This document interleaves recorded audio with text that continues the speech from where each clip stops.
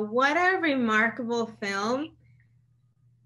I mean, I'm so glad I have a big TV and I was able to like screen share because the the cinematography amazing, breathtaking.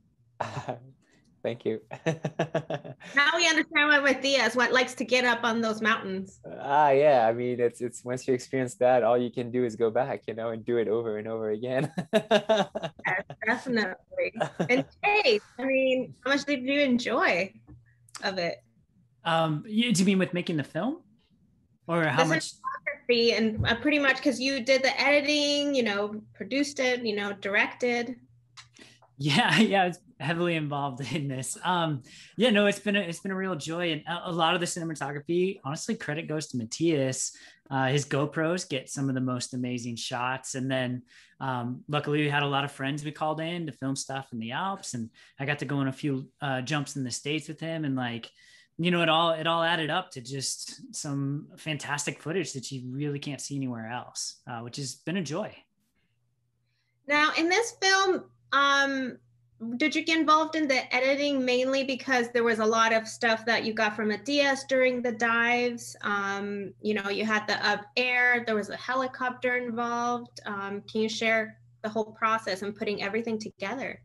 Yeah, happily. Um, so in documentary format, you know, a lot of times it's not written until after it's been shot um, unlike you know narrative works where we write what happens so editing is really where the story's told and so the basic process was we just captured everything we could so every jump we tried to get multiple angles of lots of interviews um, stuff with his family and home life and then as his life kind of unfolded and the story started to emerge in the edit bay is where I really tried to bring that forth. So we had almost 400 hours of raw footage and I watched all of it multiple times and kind of narrowed it down to roughly the best 80 minutes worth to really get to the heart of the story. And my background is in post production. You know, I've, I've been an editor for a very long time. And when you're directing a documentary, a lot of it really is in the edit bay. So I kind of leaned into my strengths with that and an ability to kind of combine, combine those roles. And this is your feature length directorial debut, right? You've done several short. That's right. Yes, I've, I've directed a lot of shorts and edited even more than that. Um, I used to work for a documentary firm as an editor, so so I've definitely worked on a lot of big projects. But as director, this is my feature debut, which is very exciting for me. Yes, congratulations. Thanks. Um, Matthias, question: Where do you get the high is it the moment you're reaching that point where you're gonna jump? Is it the point where you're flying? Uh, I mean, the the free falling, or when you pull on that? I mean, I don't tell me, please. Where's the high? Uh it's not really high, honestly. I get a total sense. It's like flying yoga. I get like ultimate relaxation and serenity when I'm in the air. I almost get the the fear. I think is peaking before.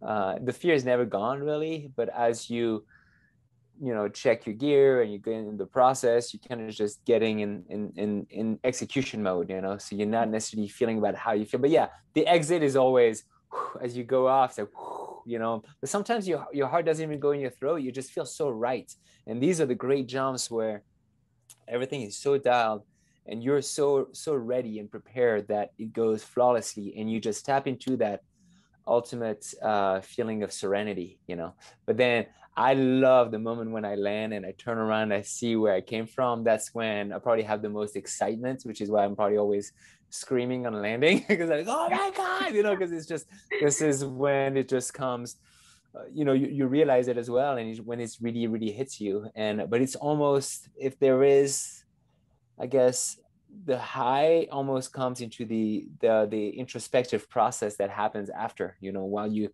when you redigest the the the, the adventure the emotions and, and you put it all together and it's and it's something that never really leaves you and that's why that's why i love this because it's it's that's why it's truly enriching and and why i keep doing it i mean you've been doing it forever um it seems like the air is like your second home documentary thanks to chase um let's let's talk a little bit back. I mean, from based on the documentary, you started with silver skiing since you were 18 months. Um, and but you continued on it kind of was like a scapegoat right when it comes to um, really focusing and skiing um, from growing up? I think kind of i mean it's it's yeah i mean i had kind of like a, a um a uh, difficult i think family environment you know and and so of course you know when you when you have difficulties you also lean back towards what what is more fulfilling or what makes you happy or what feels right right? But it's also skiing just felt like this this it's not just a sport of skiing i think it's because it's a sport that takes place in the mountains. It has always been such a, a defining uh, environment for my life and that um, you know no matter what it's always what i look forward to going back to you know? It, it became really uh, why to live you know? That's part of the, the the ethos. It's that's finding that environment in in which you don't really find it it's just is thrown at you and you just notice that it's that's it. That's that's the that's the apogee. That's the uh that's the highest uh for me that that's that's the environment in which i feel that i'm i'm, I'm experiencing the the the best highest state of, of myself. So. And chase um and the document i read somewhere that you mentioned that you felt like there was something about Diaz and wanting to share story, not so much the the person, the pro skier, the base jumper, but the the person, the persona. What was it about him? That's tricky, and and even trying to think back to you know when we started this, who we were and who we are today. But right away from from the first time we met and I saw the footage of his first ski base jump off Mount Hood, I knew there was something different about Matthias that, you know, he was doing something that 99.9% of the world would never even consider. And so I knew there was something different about him to begin with. And that intrigued me, you know, like, is he wired differently than I am? Like, how is he able to do these things when vast majority of us aren't? So that it was more of a curiosity at the beginning. Right. And then as I got to know him and understand his past and, you know, who he is as a person other than just a jumper, that's when I really started to understand like there's, there's a lot more to this, this person than just the jumps. There's a philosophy to it. He's trying to understand it. Even his dad actually says in the movie, he's trying to find the meaning of life. And these jumps for him are a path to exploring that, you know, and we all have kind of our own paths of, of exploring identity and his is a unique one and i think that's really what what drew me to his story. And his story evolved as he became a father and husband and you know adding on these other elements of, of identity and how those can harmonize or, or sometimes conflict with each other is it just added more and more interest to me. And the story just kept evolving. Now Matthias, you mentioned in a and i'm going to quote you said can't let fear stand in the way from your dreams. Yes what was that one initial dream when you first started? When I first started, uh, well, for me, it was it's you know growing up skiing in the Alps and and, and witnessing or, or hearing about some of those those legends and, and and and pioneers were doing in the mountains. You know, paragliding from the top of Everest or skiing down the steepest stuff you could think of, or ski base jumping and for me, I think at, a, at an early age, it's that their ethos and the acceptance of risk was so strong that for me, uh, not a gender thing, but for me, it, it, it established a, uh, a definition of manhood in a way, you know, as a little boy, you're like, okay, what is a man like? You know, as a little girl, like, what is a woman like? You know, and so for me, that just became like the definition of a, of a true, accomplished, powerful uh, adult. And, and, and, and for me, that was, that was that was the the goal was to um, to be able to to reach that level of, of mastery and wisdom you know and and obviously as you do dangerous things obviously there's taste you know i've always been attracted to air and jumping of things you know i jumped off my first high dive when i was six years old of a 30 foot high dive and right there i was like oh my god that's it that's amazing you know that's that's it that's the fourth dimension you know and uh, uh it just there's obviously taste is going to determine which direction and which path you're going to take in life. But for me, it was really, a, it's really a materialization of, of intentional living. It's, it's doing things with intention. And I think I don't, yeah, I don't really, even if, you know, we take some detours a little bit here and there, but I think in the end, it's, it's, um, it's always aiming in the similar the same direction. And I think these these these early pioneers and mountain people really left such a big mark on me that they became this I don't want to say God because I'm not a religious person, but I would say I guess these, these example and these these uh, yeah these, these these monuments that were inevitable for me. Maybe I think this is question more for Chase. Um, you can answer.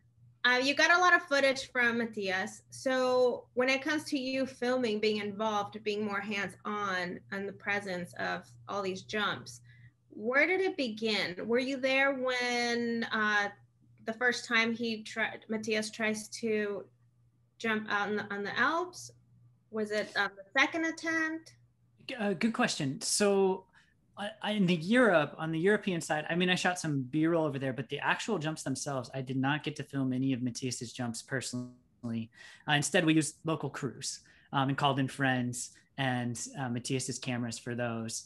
Um, I filmed a lot of the family stuff in the interviews and the stuff at home a lot of that is is from me and that's again because that's kind of where a lot of my interest was and is bringing those elements um, but unfortunately i didn't get to film the jumps in europe i did film a few jumps here in the states and that was eye-opening for me it was it was a great experience um, to see it firsthand is a totally different experience even though i think the movie does a good job of showing it mm-hmm. it's different in person it, it's it's more frightening in person, honestly, because most people will watch this movie and know that he survived, right? But when you're there in person, you don't know if he's going to survive, right? You never know. And Matthias never knows if it's he plans as much as he can, but there's always that little tiny what if, right?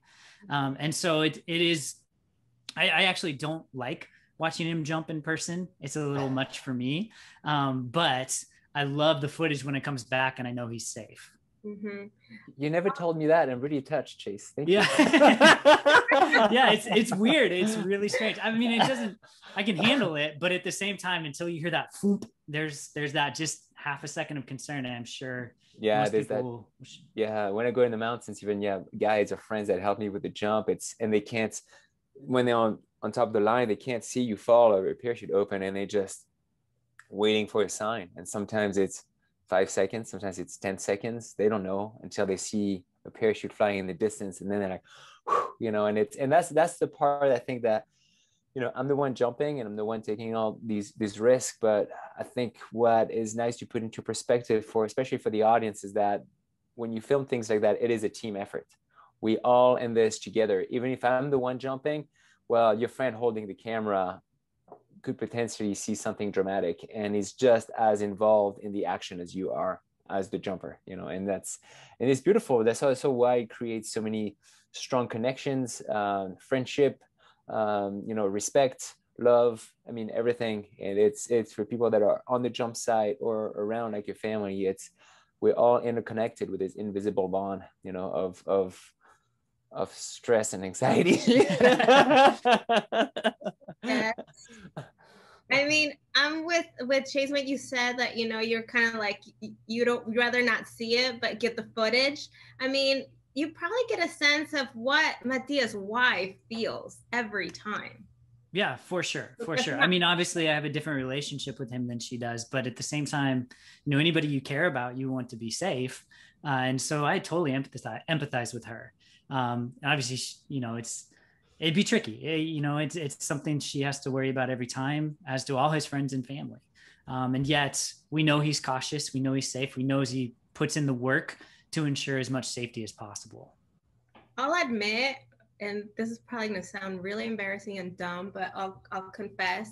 While watching the documentary and for the big jumps, I was holding my breath although it's like I'm forgetting, like, duh, I'm interviewing him. Like he makes it's like you get so absorbed in watching and these these jumps. It's just it's unbelievable. Uh-huh. unbelievable. Thank you. I think it's it's so yeah, that's, that's the, the, the power of these you know gopros and all this stuff. It's that it, it, we can make filming in a way that is so immersive that uh, hopefully we can take you along for the ride. So if you felt it this way then mission accomplished. Thank you. Yeah. there's actually one of the, the challenges in editing was like he's successful so many times we have to remind the audience that every time is dangerous and people kind of become numb when you show like a bunch of successes in a row and then you realize like oh no you know the matterhorn didn't quite go right or he had a cliff strike you know like there's always risk there and people sometimes forget that and and, so that's kind of part of the challenge is making sure the audience remembers like it could always go wrong. Thankfully, it hasn't, and it won't. Right? We're going to keep it that right. way, but yeah. Mm-hmm. I mean, it was eye opening when there was a scene where uh, it shows that you're just flying in the air, like kind of floating. What was it, 4,000 feet on? Yeah, 4,000 feet. Yeah. I've, I floated for about four minutes unconscious, just in and out of the clouds. And yeah, it was kind of like an ear thing. But our, my buddy that was filming from the helicopter was like, well, we, we didn't know if you were dead. You know, we, we we, thought you were dead because I hit the cliff four times, you know, and then turned away and flew away. And he was like, well, let's see where the body lands, you know, we got to go see. And then, but it's in this moment where maybe all is lost. It, it was very interesting because the my, my friend filming from the helicopter, you know, confided that it was there was actually something really beautiful while it was really eerie because he was just floating in, in and out of the clouds and just going, you know, and uh, think that's that's what jumping is. You know, it's it's there's something so poetic about it. You know, and it's not romanticizing you know death or romanticizing life either. It's just it is so raw that it's that there's a certain beauty in it. Mm-hmm. How do you feel watching that? Watching yourself. Uh, watching the the foot the footage floating. Yeah. Um, the hard part was watching the footage of when I crashed, you know, because I, I was trying to really see if I really did something wrong. And obviously there were some determining factors that made that happen. But as far as the execution, there's nothing really I could do, you know. So that actually kind of took some weight off my shoulders. So I could just focus on how to make this right. But I technically, as far as the execution went, I, I didn't really have to, you know, beat myself for it, you know. But uh, bad things happen, right? But yeah, when I watched everything that happened, I kind of yeah, uh, I was pleased that I think it was knocked out for a lot of it because uh, it was it was already traumatic, not even fully remembering everything. When I woke up in the hospital, it wasn't.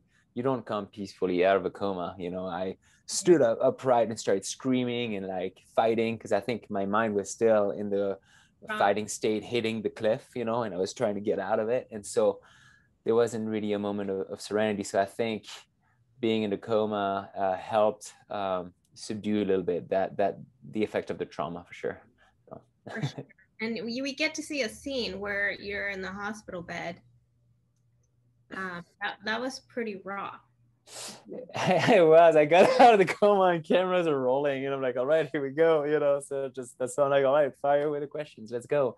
And I think that's that was the goal with this movie is to give uh perhaps it's unapologetic, but to give a very honest and raw uh, testimonial of what it's like. And I think Chase did a great job putting all these images together because it's, uh, it's, it's, my goal was never to lie and just be like, you know, this almost superhero like, which is funny because the name is super Frenchie, but there's, there's almost a facetious things to it. You know, it's a nickname that was given to me when I was in college and, and it was kind of like the, and then stuck around. So it's kind of like this, this difference between how people perceive you, but what the reality actually is. And I think the goal of this movie was to humanize it because a lot of the time you look at extreme athletes, even though it's not necessarily a, a terminology I enjoy, people either they use two things to uh, characterize it. They say, oh, he's either crazy or he's a professional. But by putting those two things, instantly they put a, a divider between them and you.